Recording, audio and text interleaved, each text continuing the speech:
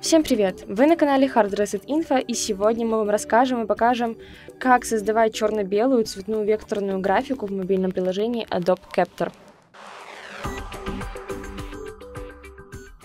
Итак, заходим в наше мобильное приложение. После этого мы нажимаем на кнопочку «Создать», листаем чуть ниже, и у нас здесь есть функция фигуры, создание черно-белой и цветной векторной графики с помощью камеры. Мы нажимаем «Создать», и мы можем, например, выбрать из галереи сразу из фотопленки, либо из другого предложенного другого варианта.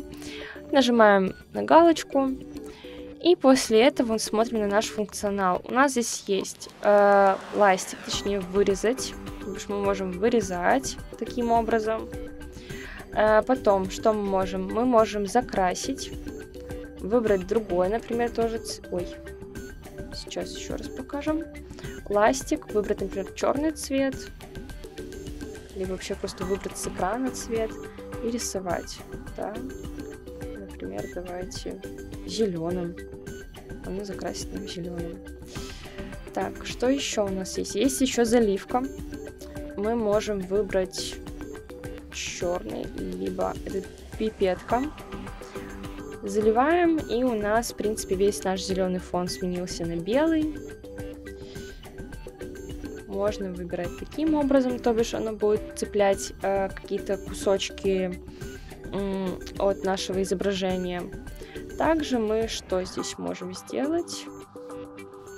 А, тут мы можем с помощью э, регулятора, как вы видите, можете заметить, меняется немножко картинка.